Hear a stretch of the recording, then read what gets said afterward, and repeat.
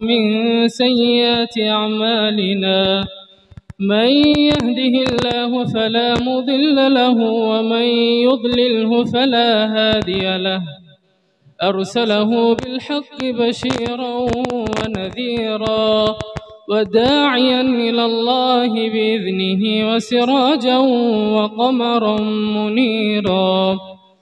فقد قال الله تبارك وتعالى في القرآن المجيد والفرقان الحميد. أعوذ بالله من الشيطان الرجيم. بسم الله الرحمن الرحيم.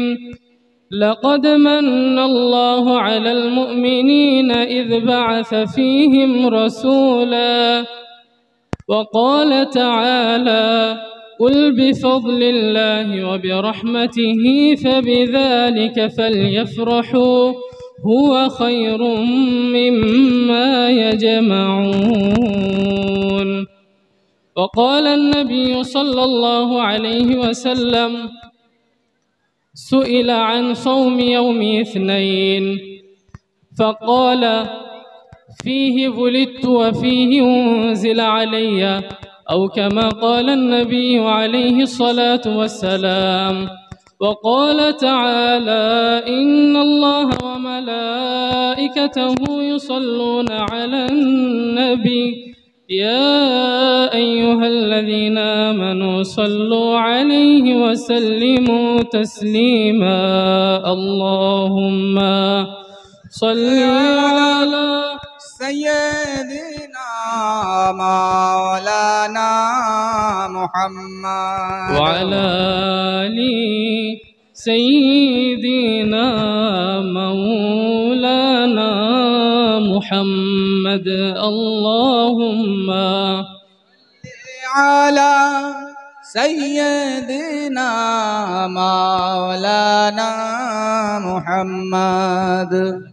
وعلى آل سيدنا مولانا محمد আলহামদুলিল্লাহ সমস্ত প্রশংসা সেই মহান রব্বুল আলমিনের যে মহান রব্বুল আলমিন আমাদেরকে দুনিয়ার সমস্ত কাজ থেকে ফারেক করে ঈশার নামাজ জামাতের সহিত আদায় করার পরে আল্লাহ তালার রাত্রের একটি সময় দিনই একটি মজলিসে এসে কিছু আলোচনা করার এবং বলার এবং শোনার তৌফিক দান করে দিলেন সেই মহান রবের প্রতি সকলেই দিল উজাড় করে জোরে সোরে শুক্রিয়া আদায় করে বলি আলহামদুলিল্লাহ। আলহামদুলিল্লাহ। আরও জোরে বলি আলহামদুলিল্লাহ। আলহামদুলিল্লাহ। লক্ষ কোটি দরদ সালাম বর্ষিত হোক। আকায় নামদার তাজদারে মদিনা আহমদে মুস্তফা মোহাম্মদে মুস্তফা হুজুরপুর নূর, নূরে মুজাসসাম আলাইহিম সালাতু সালামের পবিত্র রওজা মোবারকে সকলে বলি সাল্লাল্লাহু আলাইহি ওয়াসাল্লাম। সম্মানিত উপস্থিতি, বনরামপুর এলাকাবাসী কর্তৃক আয়োজিত আজকের এই মাহফিলের সম্মানিত জের সরপরস্তি আল্লামা মাওলানা মুনাজিরা আহলে সুন্নত হজরতুল আল্লামা মুফতি মতিউর রহমান সাহেব এবং বাংলাদেশ থেকে তাশরিফ এনেছেন আওলাদে রসুল হজরতুল আল্লামা সৈয়দ হাসান মাসউদ আল আজহারি সাহেব সহ। কিছুক্ষণ পূর্বে যিনি আমাদের সামনে তাকরির পেশ করলেন হজরতুল আল্লামা আলিম উদ্দিন সাহেব সহ স্টেজে যত ওলামাই কেরাম রয়েছেন এবং স্টেজের সামনে আপনারা যারা রয়েছেন সকলকে আমার অন্তরের অন্তরস্থল থেকে আন্তরিক শুভেচ্ছা ও মোবারকবাদ। শুরুতেই আপনাদের কাছে আমি ক্ষমা চেয়ে নিচ্ছি। আমার বাসা যেহেতু বাংলাদেশে, হয়তোবা আমার কথায়, আমার বলার ভঙ্গিমা অথবা আমার শব্দ চয়নে সমস্যা হতে পারে বা আপনাদের আমার কথা আপনাদের বোধগম্য নাও হতে পারে ওই জন্য আমি ক্ষমা চেয়ে নিচ্ছি। যদি আমার কথা আপনাদের বুঝতে সমস্যা হয়, তাহলে ইনশাল্লাহ আমাকে ইশারা করবেন। আমি ইনশাল্লাহ চেষ্টা করব আপনাদের বোধগম্য ভাষায় বয়ান পেশ করার। আমার কথা বুঝতে পারছেন তো আপনারা? বোঝা যাচ্ছে? ইনশাআল্লাহ। আপনারা সবাই কেমন আছেন?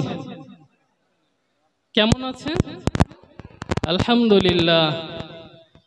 আলহামদুলিল্লাহ, আমাদের একটা কালচারে চলে এসেছে, তাই না?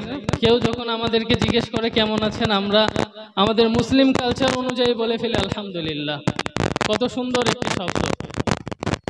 আলহামদুলিল্লাহ, আপনি যত শুক্রিয়া আদায় করবেন, আল্লাহ তাআলা আপনার নিয়ামতকে তত বৃদ্ধি করে দিবেন।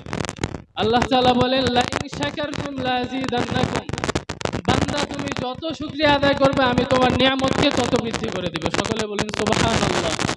এই জন্য আমরা উঠতে, বসতে, ভালো থাকি, খারাপ থাকি সকল সকল অবস্থায় কি বলব? একটু আওয়াজ করে বলতে হবে, কি বলব? আলহামদুলিল্লাহ বললে নিয়ামত বাড়িয়ে দিবেন কে? কে বাড়িয়ে দিবেন? নিয়ামত কে বাড়িয়ে দিবেন? পারব তো আমরা আলহামদুলিল্লাহ বলতে?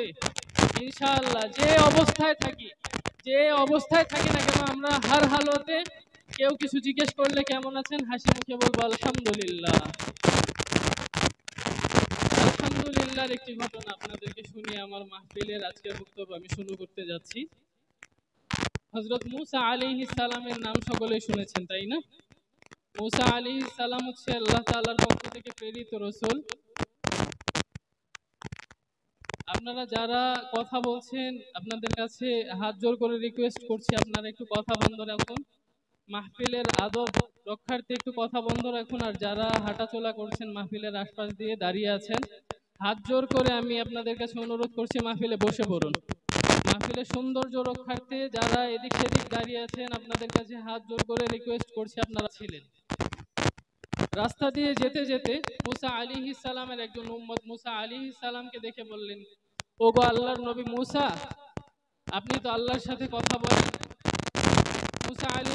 যে তুর পাহাড়ে গিয়ে আল্লাহ তাআলার সাথে কথা বলতেন এই ঘটনা তো সবাই আমরা জানি। জানি না? তো মুসা আলী সালাম রাস্তা দিয়ে হাঁটছিলেন। হাঁটতে হাঁটতে মুসা আলী সালামের একজন উম্মতের সাথে দেখা হয়ে গেল।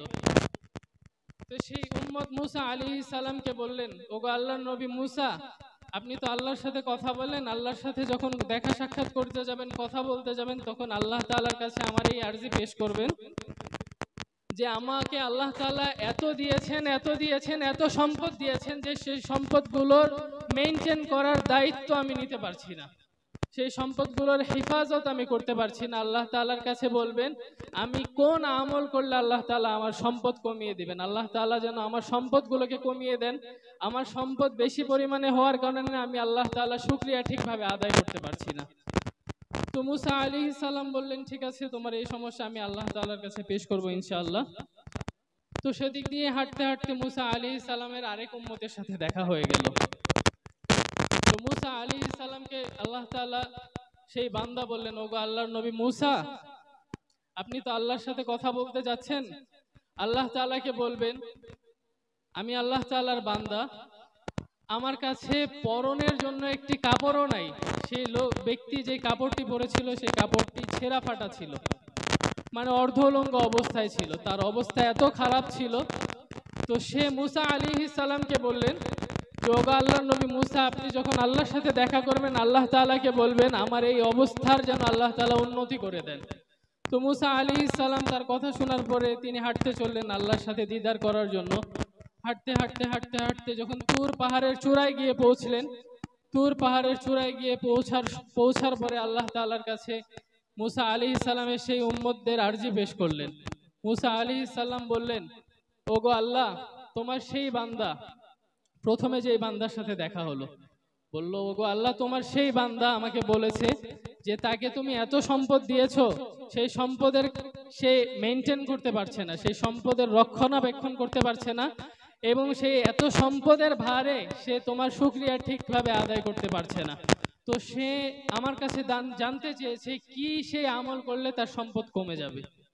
তখন আল্লাহ তাআলা বললেন, তাকে আপনি গিয়ে বলবেন যে সে যেন আমার শুক্রিয়া আদায় করা ছেড়ে দেয়। সে যখন আমার শুক্রিয়া আদায় করা ছেড়ে দিবে, আমি তার সম্পদ কমিয়ে দিব। তারপর দ্বিতীয় যে ব্যক্তি ছিল, দ্বিতীয় ব্যক্তির সেই কথা আল্লাহ তালার কাছে পেশ করলেন। বললেন, আল্লাহ তাআলা বললেন যে তুমি তাকে বলবে, আপনি তাকে বলবেন, সে যেন আমার সেই অবস্থায় আমার শুক্রিয়া আরও বেশি বেশি আদায় করে। যখন সে আমার শুক্রিয়া বেশি বেশি আদায় করতে শুরু করবে, আমি তার তার প্রতি আমার নিয়ামত বাড়িয়ে দেব এবং তার অবস্থার উন্নতি করে দেব। তো মুসা আলী সালাম এই দুটি কথা শোনার পর আবার চলে আসলেন। ব্যাক হওয়ার সময় প্রথমে যে ব্যক্তির সাথে দেখা হলো। সেই ব্যক্তি জিজ্ঞেস করলেন, ওগো আল্লাহর নবী মুসা, আল্লাহ তালার কাছে তো আপনি গিয়েছিলেন, আল্লাহ তালা আপনাকে কি ফয়সালা দিলেন? কি আমল করলে আমার সম্পদগুলো কমে যাবে? তখন মুসা আলী সালাম তার দিকে তাকিয়ে বললেন, ওগো আল্লাহর বান্দা, তুমি যখন আল্লাহ তাআলার শুক্রিয়া আদায় করতে ছেড়ে দিবে, শুক্রিয়া আদায় করা ছেড়ে দিবে, তখন তোমার নিয়ামতকে আল্লাহ তালা কমিয়ে দিবে। তখন মুসা আলী সালামের সেই উম্মত বললেন, মুসা আলী সাল্লামকে ওগো আল্লাহর নবী, যখন আমার কাছে কিছুই ছিল না, আমি পথের ভিখারি ছিলাম, আমি তো সেই সময় আল্লাহ তাআলার শুক্রিয়া আদায় করতে ছাড়িনি এখন তো আল্লাহ তাআলার আমাকে এত দিয়েছেন এত দিয়েছেন, এখন আমি আল্লাহ তাআলার শুক্রিয়া আদায় করা কীভাবে ছেড়ে দেব? আল্লাহ আকবার। তো সর্ব অবস্থায় আমাদেরকে যেভাবেই থাকি না কেন, আল্লাহ তাআলা শুক্রিয়া আমাদেরকে আদায় করতে হবে। অতপর দ্বিতীয় ব্যক্তির সাথে দেখা হলো। দ্বিতীয় ব্যক্তির সাথে দেখা হওয়ার পরে দ্বিতীয় ব্যক্তি জানতে চাইলেন যে আল্লাহ তাআলা কি ফয়সালা দিল?